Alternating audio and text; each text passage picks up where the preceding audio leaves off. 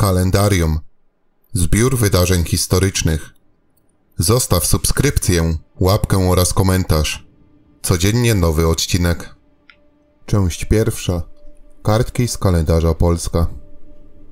Witam serdecznie, jest 6 stycznia, więc święto trzech króli Kacpra, Melchiora i Baltazara. Jedziemy. W roku 1233 książę kujawski i łęczycki Kazimierz I wyraził zgodę na przejęcie ziemi chełmińskiej przez zakon krzyżacki.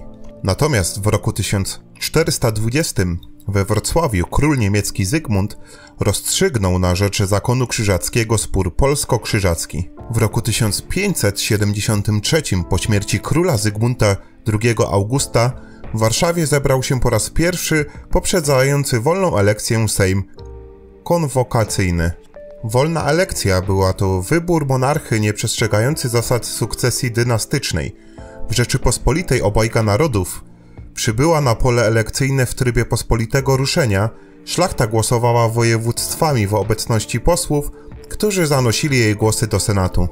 W roku 1601 wojna polsko-szwedzka o Inflanty, wojska szwedzkie zdobyły Dorpat, tzw. Tak Tartu. Wojna polsko-szwedzka o Inflanty od roku 1600 do 1611 stanowiła ciąg dalszy szwedzko-polskich sporów dotyczących podziału ziem dawnego zakonu kawalerów mieczowych. Dodatkowym czynnikiem była walka o tron szwedzki między Karolem Sudermańskim a Zygmuntem III Wazą. W roku 1429 na zamku w Łódzku rozpoczął się zjazd monarchów europejskich. Łuck było to miasto na Ukrainie nad Styrem, siedziba administracyjna obwodu wo wołyńskiego i rejonu łódzkiego.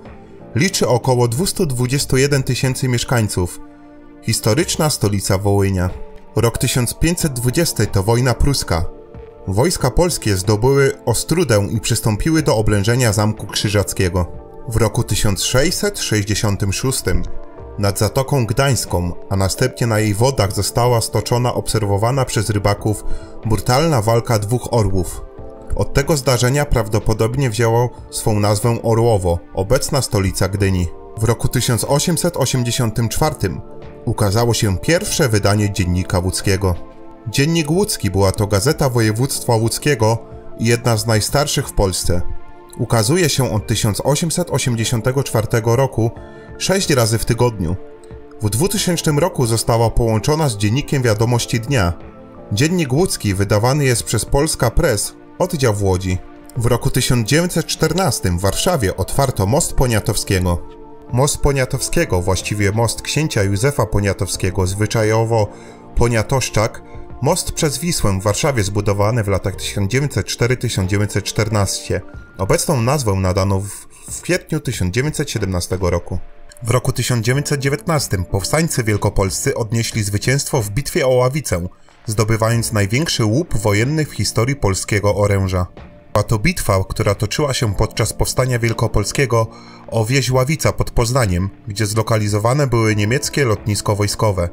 W wyniku bitwy w ręce Polaków trafił sprzęt wartości 200 milionów marek. Ku 1944 w Ostrofie Lubelskim w zasadce urządzonej przez Niemców na dowództwo 4 Okręgu Armii Lubelskiej zginęli komendant okręgu Józef Szymanek PS Pochroń, dowództwa 1 Batalionu Armii Lubelskiej kapitan Jan Hołot, PS Kirpiczny i sekretarz okręgowy PPR Kazimierz Tkaczyk. W roku 1945 w ostatniej publicznej egzekucji w obozie koncentracyjnym Auschwitz-Birkenau zostały powieszone żydowskie uczestniczki obozowego ruchu oporu.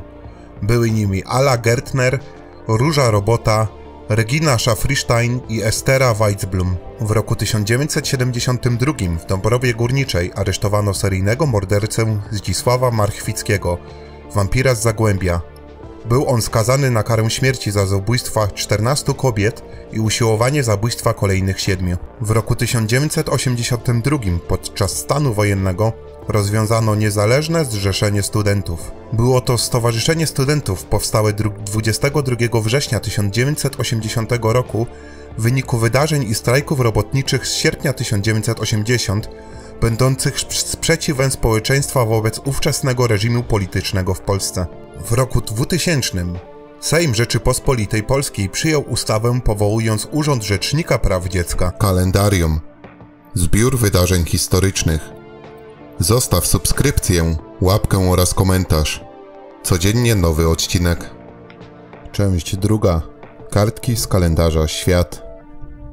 W roku 1066 Harold II został koronowany na króla Anglii. W roku 1535 Francisco Pizarro założył Limę. Był to Hiszpan, który podbił imperium Inków, a także założył miasto Lima, współczesną stolicę Peru. W roku 1810 podpisano w Paryżu francusko-szwedzki traktat pokojowy. W roku 1838 w Morristown w stanie New Jersey Samuel Morse i Alfred Whale zaprezentowali po raz pierwszy działanie telegrafu elektrycznego. W roku 1877 przyszły ojciec Adolfa Hitlera, Alois, do tej pory Schlitzburger, dokonał urzędowej zmiany nazwiska.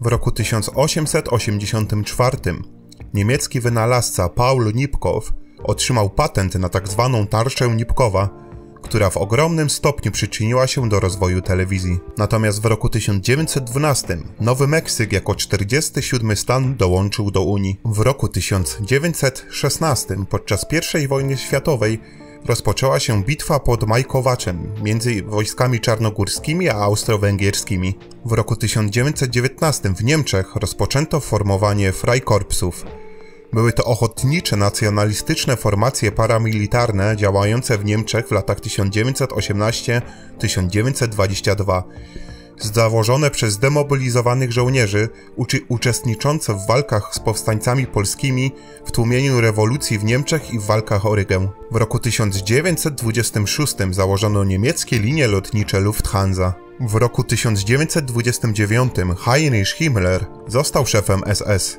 SS była to paramilitarna i początkowo elitarna niemiecka formacja nazistowska.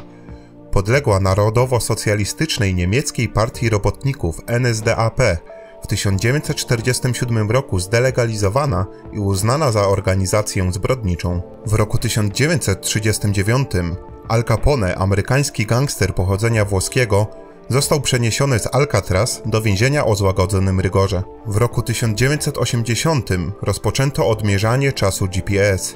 Jest to czas odmierzany przez sieć zegarów atomowych używanych w globalnej nawigacji satelitarnej GPS. W roku 1994 w Nowym Orleanie zaginęła bez śladu 23-letnia prezenterka telewizyjna Il Ilena Carisi, córka Rominy Power i Albano Carisiego.